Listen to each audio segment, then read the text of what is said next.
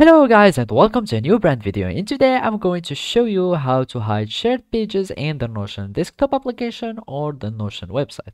So the first thing that I want you to do now is to open your Notion web portal and connect with your Google account, Apple account or your email address. Or you can just open your desktop client and follow these simple steps. So the first thing that I have here, I have my workspace here and I have just created uh, an empty page. To hide shared page, you want you will need to have some shared page here in your uh, workspace. To share them, you will need just to click share and uh, make people join in your pages so you, they can uh, you can have them displayed in the shared uh, option or the shared uh, or the shared uh, section here. So you need just to click invite after you add in the email address of the person and let's just add this one. And click on invite for example.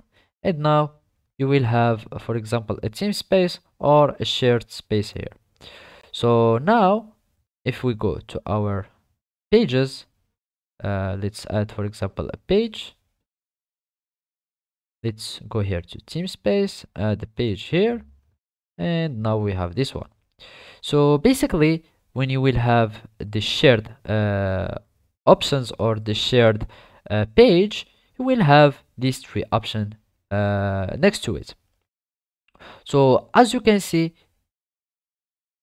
and here when you will have too many shared uh, pages you will find something that is uh, an option that is called uh, remove from the sidebar. In this way you will have all your shared uh, pages. They will be hidden and they, they won't show here except in uh, the all page view.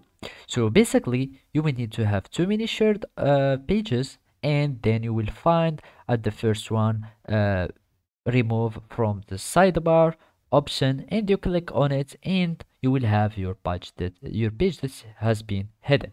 So basically this is how you can do it. Thank you for watching and see you next time